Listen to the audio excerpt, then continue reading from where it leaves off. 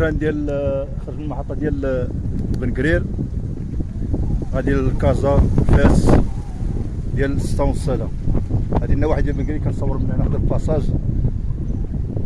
وفي نفس الوقت غادي نبان هذيك القاطره ديال اسفي غادا دابا صورتها هي.